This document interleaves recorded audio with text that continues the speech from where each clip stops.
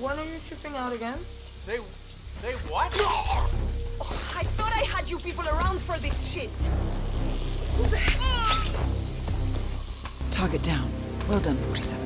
Now get off the property.